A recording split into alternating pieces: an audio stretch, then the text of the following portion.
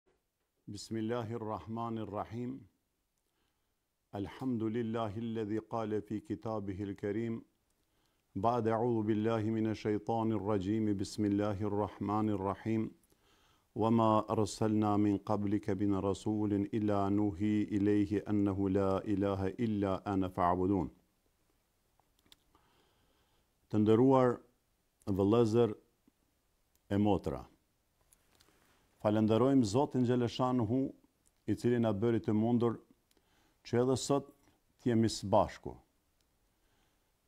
Gjatë këtij muaji të shenjtë të bekuar të Ramazanit, duke e lutur Allahun Xheleshan Hu që agjërimin tonë dhe të gjitha adhurimet e tjera që i bëjmë vetëm për Zotin xheleshanuhu të na i pranojë dhe të na shpërblejë me të mirat e tij në këtë dhe në botën tjetër, të ruaj shëndetin tonë dhe mirëqenien e përgjithshme kudo që ne gjendemi dhe kudo që ju gjendeni brenda në Kosovë mirëpo edhe në mërgatën e largët. Sot do të vazhdojmë me ciklin e ligjëratave të ditës xhuma. Dhe sot do të mundohemi pak sa të flasim për një temë një rëndësie të veçantë, e cila ngërthen në vetje besimin në Zotin xheleshanuhu dhe rolin dhe nevojën që ka njeriu karshi Krijuesit të kësaj gjithësie. Ajetin të cilin e lexova pak më herët, kur e përkthejmë në gjuhën shqipe, e ka këtë domethënie. I Madhi Zot Xhelleshanuhu na thotë se nuk dërgova asnjë nga pejgamberët para teje o Muhammed, pra është fjala se shumë pejgamber ka pasur para Muhammedit alejhis selam, numrin e të cilëve e di vetëm Zoti Xhelleshanuhu, Ka sa në Kur'an Muhamedit alejhi selam i ka bërë me dije kur i thotë përmes ajetit Minhum men qasasna alejke ve minhum men lem naqsus alejk për disa pejgamber të kam treguar e për disa të tjerë jo. Megjithatë, bindja, besimi, imani duhet të jetë i njëjtë në të gjithë pejgamberët pavarësisht se janë të përmendur në Kur'an apo nuk janë përmendur në Kur'an, dhe sipas një hadithi të Muhamedit alejhissalam afërsisht janë diku mbi njëqind e njëzet e sa mijë pejgamberë të dërguar. Allahu xheleshanuhu po na thotë pra se nuk kam dërguar asnjë prej pejgamberëve para teje o Muhamed është fjala përveç se atij t'i kemi shpallur. Pra të gjithë pejgamberëve Zoti xheleshanuhu i shpalli një porosi të njëjtë, E porosia e njëjtë është që të gjithë të dëshmojnë se Zoti Xheleshanu është një, të thrasin njerëzit për të besuar në Zotin një, të largohen të gjithë njerëzit nga besimet e kota të tjera, nga besimet pagane, nga besimet në idhuj të ndryshëm, pra të largohen nga idhuj adhurimet, dhe të besojnë në Zotin një. Ta adhurojmë Zotin një, ngase nuk meriton askush tjetër të adhurohet përveçse Zotit xheleshanuhu, Krijuesit të kësaj ekzistence, të kësaj gjithësie dhe tërë asaj çfarë gjendet në këtë gjithësi. Ndaj, vëllezër e motra, shohim se ne jemi të thirrur nga i Madhi Zot që ta besojmë Zotin, ta besojmë Zotin një. Shtrohen pyetje të mëdhaja rreth kësaj. Si ta njohim Zotin ne? Ne duhet ta njohim Zotin se Zoti xheleshanu është i pafillim. Ai është i pambarim. Lejse kemithlihi shej. Asgjë nuk ngjason me Zotin. Asgjë nuk i përngjan Zotit. Zoti xheleshanu pra është i pafillim, është i pambarim. dhe assesi në asnjë herë në asnjë mënyrë nuk lejohet që ne të diskutojmë zoti na ruajt në atë mënyrë se si dhe çfarë është zoti por vetëm duhet bindur dhe duhet besuar në ate që zoti xheleshanuhu na ka mësuar neve që ne të dimë për zotin xheleshanuhu Zotin xheleshanu jemi të porositur me Kur'an që ta njohim përmes cilësive të Zotit xheleshanu, veçorive, atributeve të Zotit xheleshanuhu dhe ta njohim Zotin xheleshanu përmes asaj që ka porosit i madhi Zot dhe porosit në Kur'an dhe Muhamedi alejhi selam në hadithet e tija. Bindja jonë duhet të jetë kjo, se i madhi Zot xheleshanuhu e krijoi këtë gjithësi pa qenë fare. Pra me një fjalë, kësaj gjithësie i paraprin mosekzistenca. Kjo gjithësi nuk është e pafillim. Ka fillimin e saj. I Madhi Zot e krijoi nga hiçi, e krijoi prej asgjëje. Ndaj edhe vetëm i Madhi Zot xheleshanuhu meriton të quhet Krijues, ngase Ai është në gjendje të krijojë nga asgjëja. E krijoi këtë gjithësi nga asgjëja, dhe sigurisht që kjo është edhe argumenti më i madh që njeriu të ndalet e të mendojë për njëshmërinë e Zotit xheleshanuhu, të mendojë për individualitetin apo qenien e të Madhit Zot xheleshanuhu. Allahu xheleshanuhu e krijoi këtë gjithësi. Kur e krijoi nuk e dimë ne fare dhe asnjëherë nuk do ta di askush. Është msheftësinë e të Madhit Zot xheleshanuhu.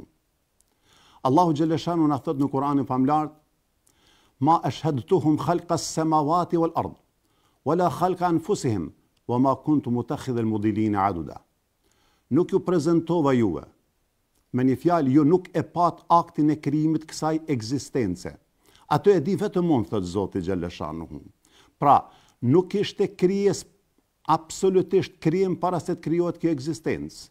Ndaj edhe ka qenë e pamundur që dikush ta sheh apo të jetë dëshmitar i asaj se si po vjen procesi i krijimit kësaj ekzistence. Zoti po thotë nuk jau mësova këtë, krijimin, e qiejve dhe tokës, shtatë palë qiej edhe shtatë shtresa të tokës. Nuk e dini ju këtë aktin e krijimit të saj. Wala khalqa anfusihim, e as krijimin e vetes tuaj. Pra, me një fjalë të shkurtër, nuk pati Adem para Ademit alejhi selam që ai të shohë mënyrën, procesin e krijimit të njeriut të parë, Ademit alejhi selam. Dhe nuk i mora në ndihmë, nuk m'u deshtën asgjë. ata të cilët janë zotmohues, ata të cilët nuk e besuan Zotin xheleshanuhu, ta cilët pra janë zotmohues. Allahu xheleshanuhu na thotë, na mëson edhe për aktin e parë të krijimit kësaj ekzistence. Edhe pse ne nuk jemi dëshmitar, po jemi të thirrur që ta besojmë. Kurani nuk është thjesht një libër vetëm moral edukativ, historik, por është një libër i cili i drejtohet mendjes njeriut, logjikës e arsyes, e thërret atë që ai në vazhdimësi të bën përpjekje të vazhdueshme pra që të njohë sa më mirë veten e vet, që të njohë sa më mirë ekzistencën cilën jeton dhe t'ju bindet argumenteve që i madhi Zot xheleshanuhu u thret që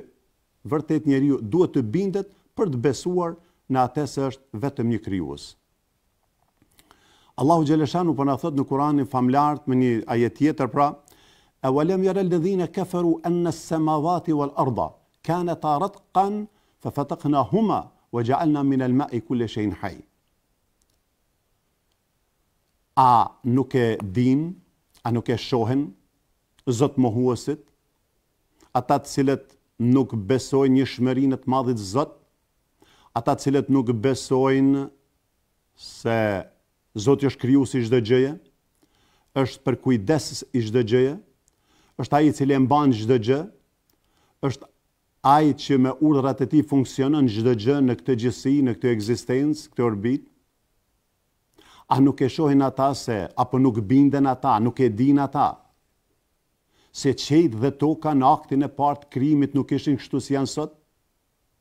A nuk e shohin ata se ato ishin të ngjitura njëra me tjetrën?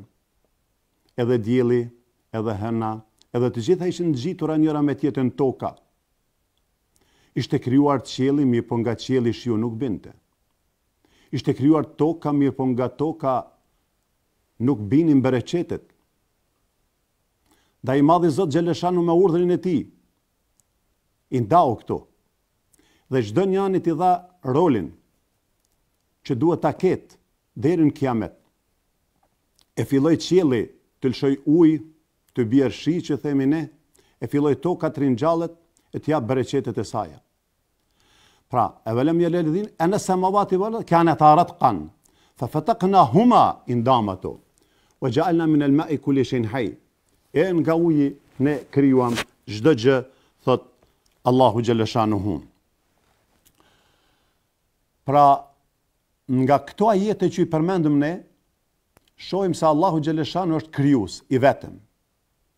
i pakrahasueshëm. Absolutisht nuk mund asgjë që të krahasohet me njëshmërinë e të Madhit Zot Xheleshanuhu. Asgjë nuk i ngjason Zotit Xheleshanuhu dhe asgjë nuk mund të krahasohet me Zotin Xheleshanuhu. Ndaj, Prej këtyre ajeteve dhe ajetit që vjen pas, ku Allahu xheleshanuhu na thotë, Dhalikum Allahu Rabbukum, la ilahe illa hua. Ky është Zoti juaj. Nuk keni zot tjetër. Neve na kujtohet se me ardhjen e Muhammedit a.s. përrreth Qabes dhe brenda në Qabe, kishin mbi 360 idhuj, apo siç i quanin ata zota që besonin në shumë zota. Mirëpo edhe historia e njerëzimit njeh edhe në të kaluarën besime të shumta. Besime pra në shumë zota, besime në idhuj, në puta, në diell, në hënë, në yj, në gjallesa tjera, në kafshë, në shpezë e shumë e shumë besime tjera. Andaj jo rastësisht Zoti Na tha n'ajetin që e citova më herët se pra të gjithë pejgamberët janë porositur pra që që ata të thrrasin për besim në Zotin një. Pse? Pse them të gjithë pejgambert? Sepse Allahu xheleshanuhu pasi që e krijoi gjithësinë, ekzistencën, krijoi edhe gjallesat tjera, kafshë, shpezë, Pra, krijoi të gjithë llojet e gjallesave që ekzistojnë mbi sipërfaqen e tokës. Ai kishte krijuar edhe melajket, engjujt, edhe xhinët para se të krijojë njeriun. Zoti Xheleshanuhu me dëshirën dhe vullnetin e tij, që është një prej cilësive dhe veçorive të Zotit Xheleshanuhu, ai deshi që mbi sipërfaqen e tokës të krijojë edhe një krijesë, e cila ka një rol të jashtëzakonshëm në raport me krijesat e tjera. Dëshira e të Madhit Zot ishte që Ai të krijojë pra njeriun, që njeriu përmes e, rolit që do ta ketë mbi sipërfaqen e tokës, ai edhe do, do të jep domethënie të plotë jetës mbi sipërfaqen e tokës.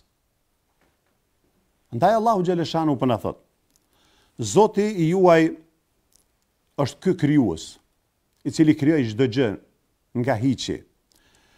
La ilahe illa huwa, është vetëm Ai, tjetër nuk ka.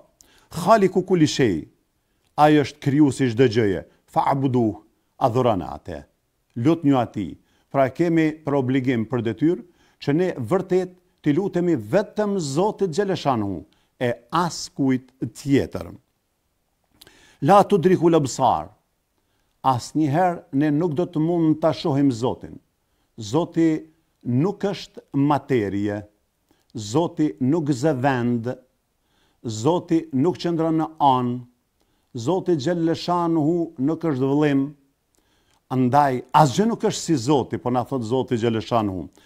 Sytë tanë në këtë gjithësi gjatë kësaj jete në këtë botë nuk ka mundësi absolutisht që ta shohim Zotin, por shohim madhërinë e Zotit përmes krijesave të shumta, përmes krejt kësaj që e kemi para vetes.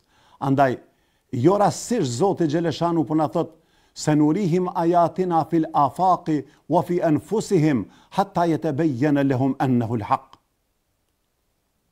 do t'ju sjellim juve argumente të forta në hapësirë, në gjithësi, pra jo në orbitë.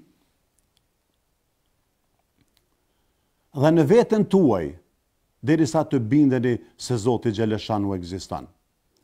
Një njeri i cili drejtohet me fisnikërinë e shpirtit dhe me dëlirësinë e mendjes, Kësaj gjithësie, e sheh këtë qiell se si qëndron ai pa shtylla, i sheh se si ndryshojnë pra stinët, e sheh se si lind e përëndon dielli, sheh se si ndriçon hëna, yjet, sheh ajrin që e thith Argumente këto të plota të cilat flasin për madhërinë e Zotit xhelle shanuhu. Andaj Allahu xhelle shanuhu po na thotë, shikoni mor çfarë ka në qiej e në tokë. Ti o njeri edhe pse je një krijesë e dobët, megjithatë të kam dhanë mundësi shumë të mëdhaja që ti të studiosh që ti të mirresh edhe me gjithësinë, edhe me hapësirën, të kuptosh gjërat të cilat vërtet e shtyjnë njeriun që edhe më tepër të fokusohet në besim në Zotin xhelle shanuhu. Pastaj, po nëse kjo është e tepër për ju, pa shikojeni veten tuaj. Shikojeni veten tuaj.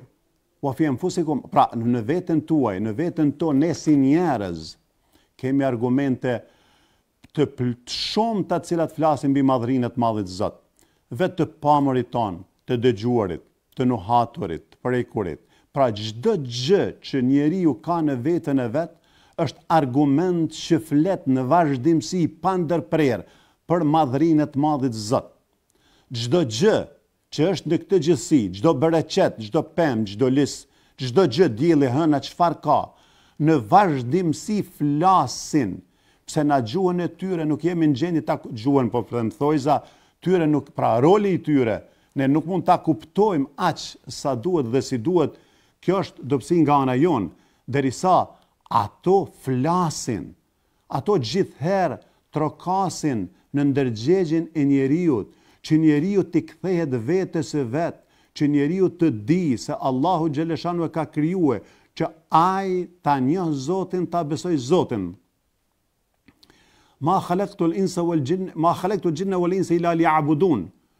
Nuk krijova xhinët dhe njerëzit për asgjë tjetër, vetëm e vetëm që të më adhurojnë mua. Pra këtu është qëllimi pse Allahu xhelle shanuhu e krijoi pra njeriun dhe për ku është arsyeja pse e krijoi? E krijoi që ai të jetë gjithherë falënderues dhe adhurues ndaj Zotit xhelle shanuhu. pra siç po shihet Zoti xhelle shanuhu nuk e ka krijuar njeriun pa qëllim të caktuar. njeriun e, e krijoi me një qëllim të caktuar. Së pari që ai ta njohë Zotin, ta besojë Zotin, ama edhe t'i kryejë obligimet dhe detyrat që i jep Zoti xheleshanuhu. E pse kështu? Sepse Zoti krijoi shumë krijesa të tjera para njeriut, po nuk i fali virtytet, cilësitë e veçoritë që i fali apo i dhuroi njeriut. Njeriut i dhuroi Pra, cilësi e veçori, atribute që nuk iu dhuroi gjallesave të tjera, krijesave të tjera. I dhuroi mundësinë e të menduarit, të logjikuarit, të perceptuarit, pra mundësinë që njeriu të paragjykojë, të perceptojë, të parafytyrojë, të mendojë dhe të marrë vendime. Zoti Xheleshanu njeriut i mundësoi si krijesë që ai të ketë mundësinë e besimit në Zotin, mirëpo mundësinë edhe të mohimit në Zotin. që është karakteristikë e veçantë të cilën e bart vetëm njeriu si krijesë mbi sipërfaqen e tokës. Njeriun Allahu xhelle shanuhu e krijoi pra me qëllim jashtëzakonisht të madh që ai të merr rolin kyç mbizotërues mbi sipërfaqen e tokës. Këtë na përshkruan Kurani.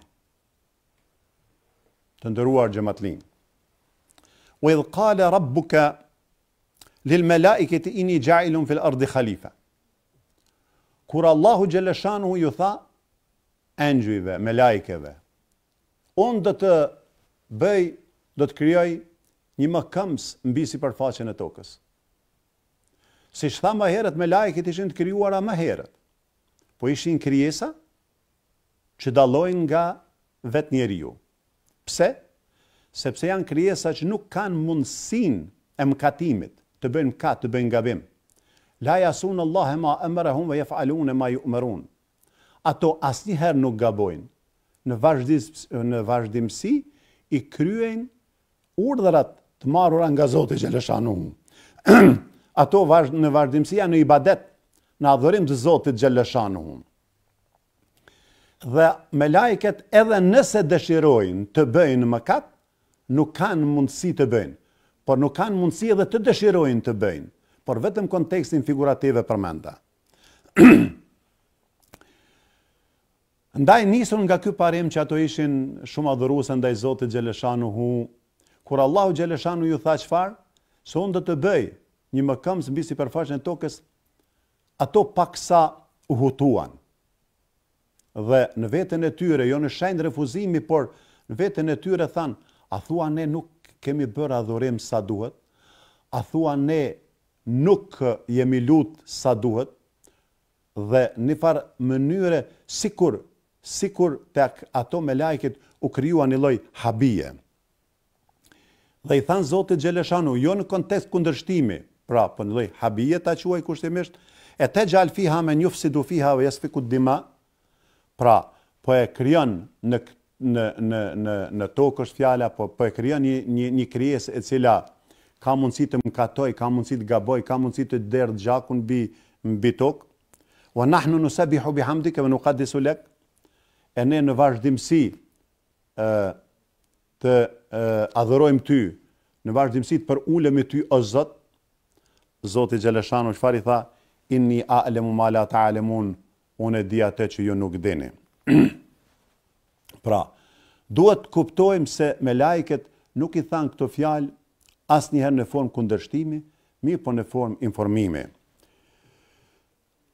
Zoti Xheleshanu sikur ju tha atyre se ju nuk e dini se vërtet pra unë i di gjëra që ju nuk i dini se këta njerëz do të ketë prej tyre që do të bëjnë mëkat mirëpo prej tyre njerëzve do të ketë të dërguar do të ketë pejgamberë do të ketë njerëz të sinqertë Do të ketë njerëz të cilët në vazhdimësi do ta lusin Zotin Xheleshanuhu, do të ketë një numër të madh të tyre, ju këto gjëra nuk i dini, do të ketë këta njerëz, këto krijesa janë ata të cilët do të shijojnë begatitë që i ka falë Zoti Xheleshanuhu në Xhenet Ditën e Gjykimit, se ata do të përjetojnë të mirat e Zotit Xheleshanuhu, se Zoti Xheleshanuhu do të jetë i kënaqur me ta, se. Ata të cilët nuk e dëgjojnë, ata të cilët e kundërshtojnë, e refuzojnë, fjalën e të madhit Zot Xheleshanuhu, sigurisht që Zoti Xheleshanuhu edhe ka përgatitur për ta, ka përgatitur edhe edhe ndëshkim, dënim në në Xhehenem. Vëllezër e motra.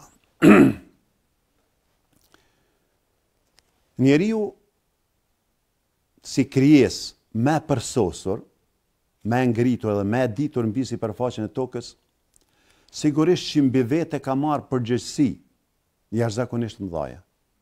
E prej përgjegjësive më të mëdhaja, siç thamë prej fillimit të kësaj ligjërate është besimi në Zot dhe adhurimi i Zotit xhelleshanuhu. Dhe Zoti xhelleshanuhu, ia ka mundësuar njeriut që përmes angazhimit të tij individual ai të ketë mundësinë e besimit të drejtë në Zotin xhelleshanuhu. Përmes përzgjedhjeve të tija që Zoti ia ka mundësu t'i bëjë, përmes lirisë së pjesërishme të njeriut të krijesës ma të përsosur që ai ka mundësi të veprojë, lirisë së zgjedhjes së veprës, të kryejë veprën e mirë apo veprën e ligë. Zoti xhelleshanuhu këtë mundësi nuk ia ka dhanë gjallesave tjera që jetojnë mbi sipërfaqen e tokës. Asnjë krijese tjetër nuk ia ka dhanë këtë mundësi. Ia ka dhanë vetëm njeriut. Ia ka falë mendjen. logjikën arsyen andaj islami është fe e cila i drejtohet mendjes njeriut i drejtohet logjikës njeriut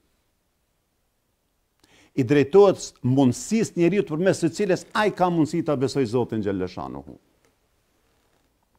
mirëpo duhet ta dimë që të gjithë se Njeriu është pjesërisht i lirë në vepër. Prandaj, njeriu i vetëm, pa ndihmën e vahjit, pa ndihmën e pejgamberëve, nuk do të kishte mundësi që ai të gjejë rrugën e drejtë e të vërtetë të besimit në Zotin Një dhe as mënyrën e adhurimit si duhet Zotit xheleshanuhu. Ndaj Allahu xheleshanuhu kur krijoi njeriun e parë, jo rastësisht Ademi alayhis salam ishte edhe pejgamber. Çka do të thotë se Allahu xheleshanuhu pra edhe me këtë i bëri me dije njeriut në vazhdimësi si njeri, si krijesë më e përsosur, që ai ka nevojë për shpalljen hyjnore, që ai ka nevojë për pejgamber, që atij t'i trasojnë rrugën cilën duhet ndjekur. Pra, vahji, shpallja, revelata, zbulesa hyjnore, kjo e ndihmon mendjen e njeriut për ta gjetë të vërtetën. Pra, nga kjo mësojmë se mendja si e vetme, pra nuk do të kishte qenë në gjendje ta gjojë ta gjej rrugën ashtu si duhet për ta besuar Zotin Xheleshanu ashtu si duhet. Pra ashtu siç urdhëron Kur'ani, ne jemi duke folur për Kur'anin, jemi duke folur për atë që urdhëron Allahu Xheleshanu. Dhe vetë Muhamedi alejhi selam. Njeriu si krijesë pra pas krejt këtyre përzgjedhjeve, lirisë të tij të pjesërishme që e ka në në zgjedhjen e veprave të tij që të bëjë mirë apo keq, duhet të mësojmë të gjithë se vërtet Allahu xheleshanuhu njeriun asnjëherë nuk e ka ngarkuar më tepër se atë që njeriu është në gjendje të bartë për veten e vet. La yukallifu Allahu nafsan illa wus'aha. Allahu xheleshanuhu nuk e ngarkon njeriun me përjashtim të asaj që ai çfarë është në gjendje për të bartë apo për të bërë. Ndaj, neve si besimtarë, pas krejt këtyre që i pamë, që i thamë, neve duhet edhe na shtrohet shumë pytje para, para, para vetes sonë. Dhe ne duhet në shenjë respekti dhe madhërie ndaj Zotit Xheleshanu, që nganjëherë, siç tha Zoti më herët që potencova, ta shohim veten tonë dhe t'i themi vetes sonë. Pavarësisht pozitën që kemi. Pavarësisht pasurinë që kemi. Pavarësisht forcën që mund ta ketë dikush. Të gjithë në krijim jemi të njëjtë. Të gjithë në përmbajtje fizike, lëndore, shpirtërore jemi të njëjtë. Të gjithë e kemi një Zot. Të gjithëve na mbikëqyr ai Zot dhe përkujdeset për neve ai Zot. Andaj neve si një krijesë tepër e dobët duhet t'i themi vetes shpeshherë. A thua kush jam unë? Kush jam unë? Pse kam ardhë në këtë gjithësi, në këtë jetë? Çfarë është roli im? Çfarë do të bëhet me mua? Kush më krijoi? Si u gjenda në këtë jetë? Si mund ta gjej dhe ta besoj Zotin drejt? Kush e krijoi këtë gjithësi? Për çfarë u krijua kjo gjithësi? Pse kjo jetë nuk është e përhershme? Çka do të bëhet me mua pas vdekjes? Çfarë jete do të kam në berzah në varreza? Si do të ringjallem? Si do dal para Zotit? Si do ta jap llogarinë para Zotit Xheleshanuhu? Si do të jetë dita e gjykimit? Si do të përjetojmë shpërblimet e Zotit në Xhenet dhe si do të përjetojmë ndëshkimet e Zotit në Xhehenem? E pyetje të shumta të kësaj natyre që njeriu duhet t'ia bëjë vetes dhe të jeni të bindur të gjithë se këtë përgjigje nuk do të mund ta gjeni askund. Me përjashtim në atë Pra kur urdhënon Zoti në Kur'an dhe në hadith, në atë që ka thënë Zoti xheleshanuhu dhe në atë që thotë Muhamedi alejhis selam. Aty do ta gjejmë. Aty do ta gjejmë veten tonë. Aty do ta gjejmë përgjigjen tonë. Aty do të gjejmë të gjitha, sepse Zoti xheleshanuhu neve na ka mësuar dhe edukuar që Për çdo pyetje, e çfarëdo lloji qoftë ajo, që njeriu mund t'i bëjë vetes, po edhe tjerët mund t'i bëjnë tij, dhe çdo pyetje e cila parashtrohet në këtë gjithësi, të kthehemi në Kur'an, të kthehemi në hadith, të kthehemi në atë që thotë Zoti dhe Muhamedi alejhis selam, aty kemi për ta gjetur përgjigjen. Të nderuar xhematlinj, vëllezër e motra, nëse jemi gjallë deri sot një javë, Ne do të vazhdojmë me këtë ligjëratë. Ndaj tash më lejoni nja dy tre minuta që t'i kthehem edhe gjendjes dhe të flas pak edhe për gjendjen e pandemisë. E dimë se që një kohë relativisht e gjatë edhe Kosova po ballafaqohet me pandeminë. Me këtë sëmundje, me këtë virus COVID-19. Bashkësia Islame e Kosovës e dini që ka marrë një vendim për pezullimin e përkohshëm të faljes së namazeve nëpër xhami. Nuk i ka mbyllur xhamitë asnjëherë, në çdo kohë janë thirrë, është thirrë ezani nëpër xhami, pra siç e dimë të gjithë, por vetëm ka pezulluar faljen nëpër xhami. Ne do të jemi në vazhdimësi ata që do të përcjellim situatën e cila do të vazhdojë të jetë edhe në Kosovë. Elhamdulillah prej Zotit që kemi raste të pakta në krahasim me disa ditë ma herët dhe po vjen deri te largimi i këtij virusi edhe nga Kosova. Megjithatë ne do të jemi në kontakt të vazhdueshëm me Ministrinë e Shëndetësisë dhe me Institutin e Shëndetësisë të Kosovës dhe do të shohim mundësinë e parë të mundësisë së faljes së namazeve nëpër xhamitë tona. Sigurisht që edhe unë, edhe ju të gjithë jemi të etur që të kthehemi në shtëpi të Zotit dhe aty ta adhurojmë Zotin, se Zoti në Kur'an na ka thënë Ennel mesaxhide lil-lah, fela ted'u meallahi ehada. Se xhamitë janë Zotit, se vetëm në xhami, xhamitë janë Zotit dhe në xhami meriton të adhurohet vetëm Zoti, e askush tjetër. Ishalla shumë shpejt, Me emër të Zotit Xhelle Shanuhu, do të ikë edhe ky virus dhe ne do t'ju kthehemi xhamive tona. E di që na keni mirëkuptu jashtëzakonisht mirë, e di që na keni mirëkuptuar kur kemi marrë dhe e keni edhe ju e keni përjetu ashtu si e kemi përjetu edhe na, që kemi marrë ato vendime që kanë qenë shumë të dhimshme për neve, mirëpo kanë qenë të obligushme me qëllimin e vetëm të ruajtjes së shëndetit publik të të gjithëve të cilët jetojnë në Kosovë e ma gjërë ishalla Zoti Xhelle Shanuhu është me ne dhe i plotëson të gjitha dëshirat dhe na begaton me shëndet të mirë dhe me të mirat e tij të pakufishme Vesselamu alejkum.